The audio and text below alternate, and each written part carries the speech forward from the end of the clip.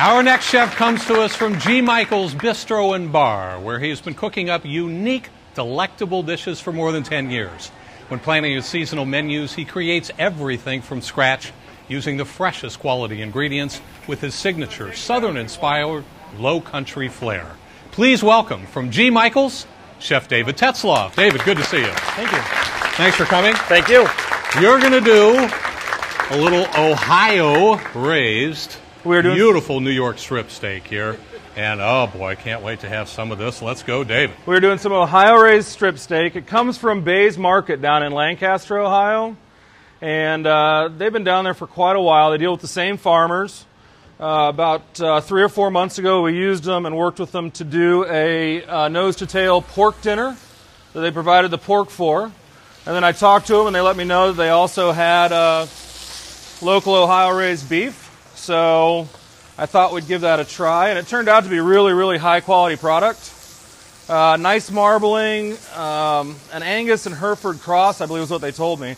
We've got a little coffee rub on it, a little espresso, brown sugar, uh, ground mustard, a little cumin, uh, and then salt and pepper. And we want to keep that a little bit rare. We're going to keep our strips a little bit rare, just so that they uh, the marbling's really nice. They're nice and tender. We don't need to go much further than that. For the uh, sauce itself, we're doing a gastrique sauce, which is a French sauce, a little bit of sweet and sour in it. So we're going to saute some shallots, a little brown butter. Let those go just a little bit. And as I said, we're doing sweet and sour, so we're going to add a little bit of sugar,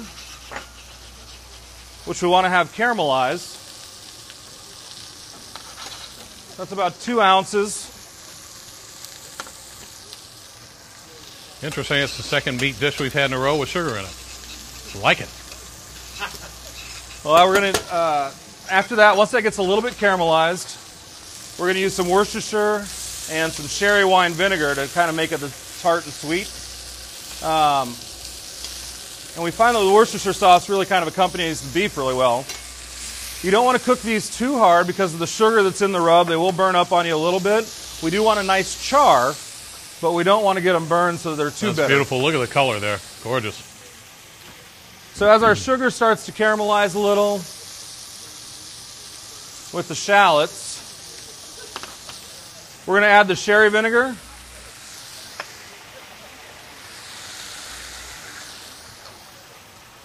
And the Worcestershire sauce and let that come down. And what we're going to serve this on tonight is uh, leek mashed potato. We're in that kind of season right now where I was able to bump the leeks with a little bit of local ramps. They're just coming into season uh, which is really nice for those of you who aren't familiar with ramps. It's a wild leek, got a really pungent, um, strong or assertive garlicky flavor. Uh, but they're really, really delicious. They come right out of the Appalachians down uh, down around Athens, a little bit further south.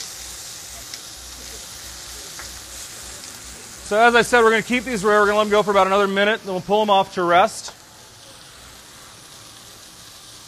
We take this sauce down just a little bit.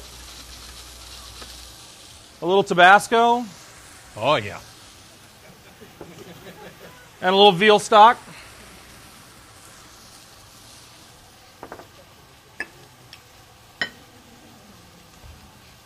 And then also in the springtime, since the asparagus is starting to run, and we've just started to see just a little bit of local asparagus. It's not quite there yet, but hopefully in the next couple weeks it starts coming up.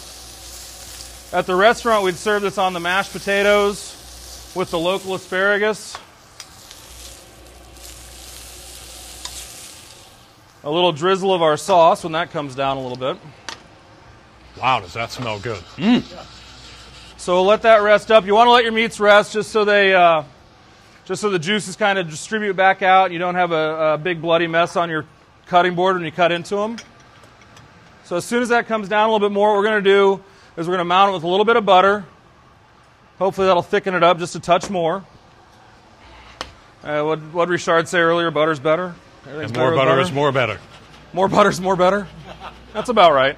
Mm-hmm. Uh, a good wine with this, uh, since you have the nice tannins and whatnot coming from the uh, espresso, uh, and of course, always good with steak is a red wine. At the restaurant, we'd probably pair it with um, a wine like the Prisoner, which is one of our favorite wines at the restaurant. It's a Cabernet and uh, Zinfandel blend. Um, but that'd be a good pairing with this. And then we're going to mount this with butter. We're going to pull it off heat a little bit, so it doesn't, uh, so the butter doesn't break out too bad, or hopefully at all. To let that rest. Should be about there. Says it's Okay, tell her it says.